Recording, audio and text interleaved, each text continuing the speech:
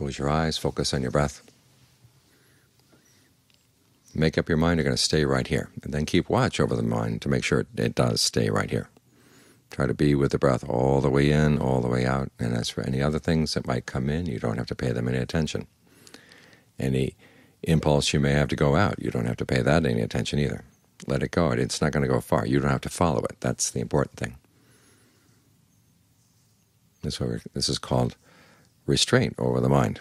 You give the mind something good to stay with right here, and then as for other things, you just let them go. Anything that would pull you out, you just let it go.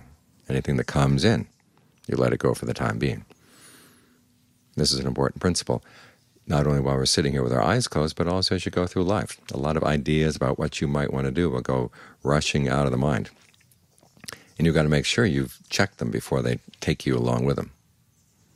Otherwise, you're like somebody who car drives up and says, hey, jump in. You just jump in with a car and go with it. And then you start asking, well, where are you going and who are you? By that time, it's too late. They've got you. Or when you let somebody in the house, so somebody comes in, they don't even knock on the door. They open the door and they come right in. You don't, you couldn't live in a house like that. You'd probably be dead after a while. Yeah, that's the way most people's minds are. They go running out and they can't let anything in. It's like your house isn't a house, it's a bus station. Anybody can come in do anything they want. If you're going to give some happiness to the mind, give some peace and well-being to the mind, you've got to learn how to close your windows and close your doors. Turn this place back into your home. And then you're in charge of who comes in. Any things come in from outside, you decide whether you're going to let them into your mind or not. People will say things, but the question is, do you want to take them into your mind? People will do things. Again, you have to ask, do you want to take that into your mind? All kinds of pretty things and nice-sounding things will come by. Do you want to take those into your mind?